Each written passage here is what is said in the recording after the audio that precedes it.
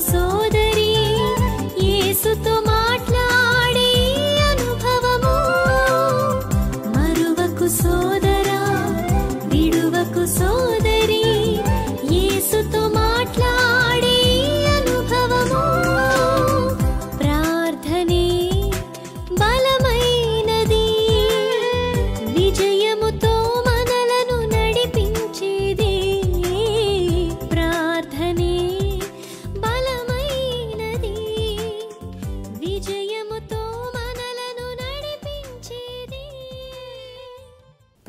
దేవుని బిడ్డలారా మీ అందరికీ నరోదయపూర్వక వందనాలు తెలియజేసుకుంటూ మీ అందరూ బాగున్నారు అని సంతోషంగా ఉన్నారని దేవాతి దేవుని అడుగుతున్నాను మరి చిన్న ఒక దేవుడిచ్చిన వాక్యం ద్వారా మనము కొన్ని మాటలు ధ్యానించుకుందాం.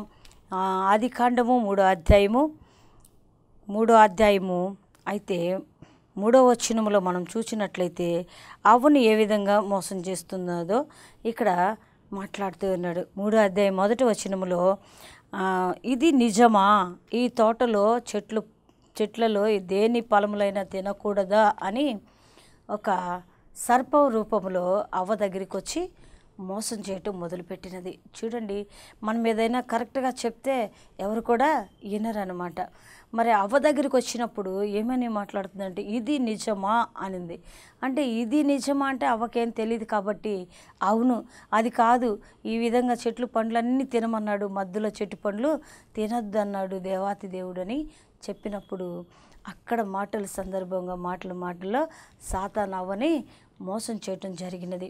ఎందుకంటే ఎంతగానో ఇష్టపడి ఆదామును అవ్వను దేవాది దేవుడు చేసి ఆ యొక్క యోధోన తోటలో ఉంచినప్పుడు ఆ యోధోన తోటలో ప్రతి సంవత్సరం ఎప్పుడు పండులు లేవు అనే ఆ ఆ యొక్క ఆలోచన తలంపు రాకుండా ఆ యోధోన తోట అంతగా ఫలిభరితముగా భరి ఆ విధంగా ఫలింప చేయబడినదనమాట మరి ఆ విధంగా చెట్లు పండ్లు ఎప్పుడూ తింటూ సమృద్ధిగా వాళ్ళు తిని సంతోషించమని వాతిదేవుడు చెప్పినప్పుడు ఈ మధ్యలో ఉన్న ఈ చెట్టు పాలములు మాత్రం మీరు తినకూడదు జాగ్రత్త సుమి అని చెప్పినప్పుడు సరే అని అవ్వ ఆదాము ఒప్పుకున్నప్పుడు మరి ఈ యొక్క సాతాను ఎలా మోసం చేయాలి అని స్త్రీలు బలహీనమైన ఘట్టము అని వాక్యం ద్వారా సెలవిస్తుంది. మరి బలహీనమైనది స్త్రీ కాబట్టి ఆదాము లేనప్పుడు అవ్వను ఒంటరిగా చూసినప్పుడు ఆ విధంగా వెళ్ళి చెప్పడం జరిగినది. అప్పుడు ఇది నిజమా అన్నప్పుడు అవును ఏంది నిజము అని ఆమె అడగడం మొదలుపెట్టి అక్కడ పాపం చేయబడినారు. ఆ యొక్క తినకూడదన్న పండ్లు తిని ఆజ్ఞ తప్పిపోయి దేవుని ఆజ్ఞ వాళ్ళు తిరస్కరించడం జరగడం జరిగింది. మరి సాతాను మాటలు విని వాళ్ళు పాపంలో పడడం జరిగినది.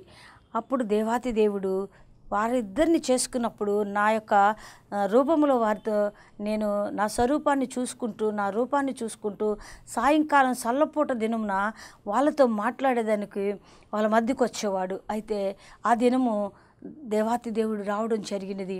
అప్పుడు ఆదాము ఎక్కడ ఎక్కడ అని అడిగినప్పుడు ఆ ఆ స్వరం విన్నప్పుడు వీళ్ళు దిగంబరులమయ్యి ఉన్నామని తెలుసుకున్నారు. అయితే దిగంబరులు అయి ఉన్నప్పుడు వారు దేవుని ఎదుటి పోలేక భయపడి ఆకులు కట్టుకొని చెట్ల చాటున దాంకోవటం జరిగినది. మరి దేవాది దేవాతి దేవుడు పిలిచినప్పుడు అయ్యా మేము ఇక్కడున్నాము దాంకొని ఉన్నాము. నీ స్వరము వింటనే మేము ఆకులు చాటున చెట్లు చాటున దాంకొని ఉన్నాము అని వారు చెప్పడం జరిగినది. అప్పుడు దేవాతి దేవుడు ఏంటి మీరు ఏంటి ఏం చేశారు మీరు? మీరు తినకూడదన్న ఫలములు తిన్నారు. అది ఎవరు మీకు తినమని చెప్పారు? అసలు మీకు ఎవరు ప్రేరేపించారు? అని అడిగినప్పుడు ఆదాము అయ్యా నీవు ఇచ్చిన ఈ స్త్రీ నాకు ఆ పండ్లు తెచ్చి ఇచ్చినదని చెప్పడం జరిగినది. మరి ఆదాముని దేవాతి దేవుడు నీవు స్త్రీ మాటలు విని మోసపోయావు కాబట్టి నా మాటను తిరస్కరించావు కాబట్టి ఈ భూమి అంతటి మీద నీవు కష్టపడి ఆ యొక్క భూమిని సేదపరుచుకొని ఆ యొక్క దుప్పలు ముళ్ళ పొదలు గచ్చ పొదలు ఇవన్నిటిని దున్ని కష్టపడి నీ చెవటను భూమి మీద వేసి నువ్వు పండించిన పంటను తిని సమృద్ధిగా ఉండాలి మీరు. దీ మీకు నీ శాపం అని చెప్పి దేవాతి దేవుడు ఆయనకి ఒక శాపనార్థం ఇచ్చాడు. మరి అలాగే అవ్వను కూడా. అవ్వ అంటే అవ్వ అయ్యా నేను సర్పము మాటలు విని మోసపోయాను. ఈ సర్పమే నన్ను మోసం చేసిందయ్యా అని చెప్పినప్పుడు అవ్వకి నీవు గర్భము ధరించినప్పుడు ప్రసవ వేదన పడి ఆ పునర్జన్మను మళ్ళీ పొందుకునేదానిలాగా ఆ వేదనలో అప్పుడు నువ్వు బిడ్డను కంటావు. నీకు ప్రసవ వేదన ఎక్కువ అవును కాక అని అవ్వని శపించడం జరిగినది. మరి మరి సర్పం కాడికి వచ్చినప్పుడు నీకు కాళ్ళు ఉండవు. నువ్వెప్పుడు ఎల్లప్పుడూ నీ ఒక బ్రతుకు దినములన్నీ నీవు పొట్టతో పాకుతూ ఉంటావు భూమి మీద. అయితే మానవులు చూసినప్పుడు నీ తలను చితగొడతారు నీవు మానవుల్ని మెడమి దగ్గర కాటు వేస్తావు అని దేవాతి దేవుడు ఆ సర్పానికి శాపం ఇచ్చాడు.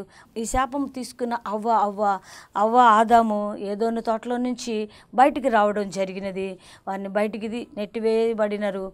మరి బయటకు వచ్చి వాళ్ళు కష్టపడి ఫలించినప్పుడు అందుకే దేవాతి దేవుడు వాళ్ళని ఎంతగా ప్రేమించాడో వారి కోసం అభివృద్ధి పరచండి సమృద్ధిగా తినండి భూమిని నిండించండి సమృద్ధిగా ఆశీర్వదించబడండి అని వారిని దీవించినప్పుడు ఆ యొక్క జీవి ఆ యొక్క దీవెనలన్నీ మట్టి పాలు చేసినప్పుడు దేవాతి దేవుడికి బాధ వేసినది వేదన కలిగినది. మరే ఈరి ద్వారా శాపం వచ్చినది కాబట్టి లోకంలో ఉన్న మనుషులందరూ శాపగ్రస్తులయ్యి మరణానికి పాత్రులైనప్పుడు మరే దేవాతి దేవుడు ఆలోచించాడు ఏడుస్తున్నాడు దుఃఖించాడు యెషయా గ్రంథంలో చెప్తున్నాడు ఎందుకు ఈ నరుల్ని సృష్టించానా?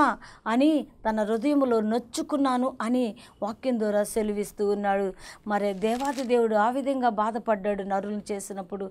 మరి మళ్ళీ అతను ప్రేమిస్తున్నాడు. తండ్రి మన కోసము ఎంతగానో తన ప్రాణం పెట్టేదనిగా ప్రేమించి తన ప్రాణం పెట్టేందుకు తన సొంత కుమారుణ్ణి తన ఇష్టమైన కుమారుణ్ణి మనకి లోకానికి పంపించడం జరిగింది. ఆయనే గొప్ప ఒక వ్యక్తి. యేసు ప్రభు. ఆయన మన కోసం ప్రాణం పెట్టడానికే ఈ లోకం మీదకి వచ్చాడు ఆయన పుట్టుక దినం అందరూ సంబరాలు జరుపుకుంటూ ఉన్నారు. ఆయన పెరిగి పెద్దవాడైనక మనందరికీ ఒక వెలుగుగా ఉన్నాడు. పరిశుద్ధుడిగా ఉన్నాడు. రక్షకుడుగా ఉన్నాడు. మనలందరినీ ఎలిగించేవాడిగా ఉన్నాడు. మన జీవితాలని వెలుగు వెలుగుమయంగా చేసేవాడిగా ఉన్నాడు. మరి చూడండి ప్రియ దేవుని బిడ్డలారా ఈ లోకంలో మంచి వెలుగు గొప్ప వెలుగు ఎలా వచ్చిందంటే గొప్ప వెలుగు వచ్చింది. ఆ గొప్ప వెలుగు ప్రతి ఒక్కరిని వెలిగిస్తూ ప్రతి పాపాన్ని కడిగివేస్తూ ప్రతి ఒక్కరిని క్షమిస్తూ తన బిడ్డలుగా చేర్చుకునేందుకు తన దగ్గరికి ప్రేమామయుడిగా మన మధ్యకు వచ్చి ఉన్నాడు. మరే ఈ ఆ రోజు అవ్వ ఆదాము చేసిన ఈ పనులకి ఈరోజు మనము మరణ పాత్రులముగా ఉన్నాము.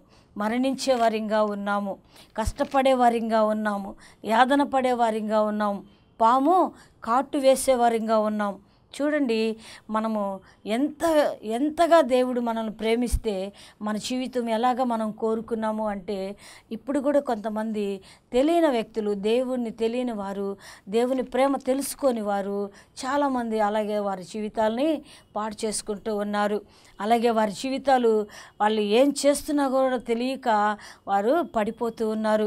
పడిపోయిన తర్వాత ఇది గుంట ఇది లోతు అయ్యో ఇది మరణం అని తెలుసుకుంటూ కేకలు చేస్తూ ఉన్నారు. మరి మన జీవితాల్లో కూడా ఇంకా ఇంకా అలా అనుభవాలు ఉన్నాయి. ఇంకా మనం పాడు చేస్తున్న బ్రతుకులు మనం పాడు మన జీవితాలు మనమే పాడు చేసుకుంటాం. మన ఇల్లులు మనమే కోలపోసుకుంటాం అదే జ్ఞానవంతురాలు తన ఇల్లుని కట్టుకుంది అన్న లెక్కలో మనం కూడా మన ఇల్లుని జ్ఞానవంతులంగా ఉండి కట్టుకోవాలి. మూడు రాళ్ళు తన ఇల్లు ఓడబీకును అని చెప్తుంది వాక్యము. మరి మూడు రాళ్ళంగా మనం ఉంటున్నామా? జ్ఞానవంతులుగా మనం ఉంటున్నామా? జ్ఞానవంతుల స్త్రీలమైతే మనము మన ఇల్లు కట్టుకోవాలి. మూడు రాళ్ళు స్త్రీలమైతే మన ఇల్లు మనము ఊడబెరుక్కోవాలి. మరి మనం జ్ఞానవంతులుగా దేవుని సన్నిధిలో భయభక్తులు కలిగిన వారింగా మనము మన గృహాలని నిర్మించుకునే వారింగా మన ఇంట్లో వారందరూ రక్షణలోకి నడిపించే వారింగా మనము జ్ఞాపకం చేసుకుంటూ దేవాతి దేవుని సన్నిధిలో మనము ప్రార్థనిస్తూ ప్రార్థన అనుభవంలోకి రావాలి. చూడండి మోసపుచ్చే మాటలు ఈ లోకంలో చాలా ఉన్నాయి. మోసపోకుడి మనం నిజమేమిటో తెలుసుకోవాలి. అదే దేవాతి దేవుడు సెలవిస్తున్నాడు యహోవా ఉత్తముడని రుచి చూసి తెలుసుకోమంటున్నాడు. ఆయన స్నేహాన్ని మనం కోరుకోవాలి. ఆయన కోసం జీవించాలనే ఒప్పందం మనం చేసుకోవాలి. అప్పుడే మన జీవితాలు గొప్పగాను బహు ఆశీర్వాదంగాను మంచి ఆరోగ్యంగాను తరతరాలు. యశా గ్రంథంలో చెప్తున్నాడు దేవాతి దేవుడు తన పిల్లలు పిల్లలు పిల్లలు తరతరాలు చూస్తారని చెప్తున్నాడు. మరి ఈ మాటలు మనము విన్నప్పుడు ఎంతో ఆనందంగా ఉంటుంది ఎంత సంతోషంగా ఉంటుంది. మన నోటి నుంచి వచ్చే ప్రతి మాట మనము తరతరాలు మన పిల్లల తరాలు చూస్తారంట. మనం గొప్ప మాటలు మాట్లాడేవారిగా ఉండాలి. మనం నిజం చెప్పేవారిగా ఉండాలి. మనం యథార్థంగా ఉండేవారిగా ఉండాలి. ఎవరిని కూడా కష్టపెట్టేవారిగా ఉండకూడదు. ఎవరిని బాధ పెట్టేవారిగా ఉండకూడదు. అయితే మనము పోలిక చొప్పున మనం ఉన్నాం కాబట్టి ఆయన మాటలు మనము అంగీకరించి ఆయన మార్గంలో నడిచి మనము సత్యాన్ని అనుసరించేవారిగా నీతనే వస్త్రాన్ని కట్టుకునేవారంగా పరిశుద్ధులము అనిపించుకునేవారంగా. ఈ బిడ్డలు దేవునికి ఇష్టమైన బిడ్డలు అని మనము మనుషుల దయ దేవుని దయ కోరుకోమని దేవాతి దేవుడు చెప్తూ ఉన్నాడు. మొట్టమొదట దేవుని దయ తర్వాత మనుషుల దయ. మరి మనము మనుషులందరిలో జీవిస్తున్నాం కాబట్టి ప్రత్యేకమైన వారుగా మనము ఉండాలి. ఈ యొక్క దేవాతి దేవుడు ఈ వాక్యం ఇచ్చినందుకు ఇదిగో అవ్వలాగా మనము మోసపోకూడదు. జ్ఞానవంతులంగా మెలకువ కలిగిన వారింగా వెనక ముందు మనకి ఏముందో అది గ్రహించే వారింగా మనము ఉండాలి. మరి ఈ యొక్క సామెతలు ముప్పై ఒకటిలో చెప్తుంది ఆ స్త్రీ అంట రక్తవర్ణ వస్త్రములు ధరించుకొని తన కుటుంబాన్ని చాలా చక్కగా కాచుకుంటుంది తన కుటుంబాన్ని చాలా చక్కగా కట్టుకుంటుంది. తన పిల్లలు ధన్యరాలు అని పిలుస్తున్నారు. తన భర్త ధన్యరాలు అని పిలుస్తున్నారు.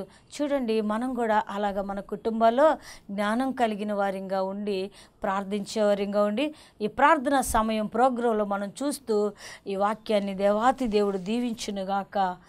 అమేన్ ప్రార్థనే బలం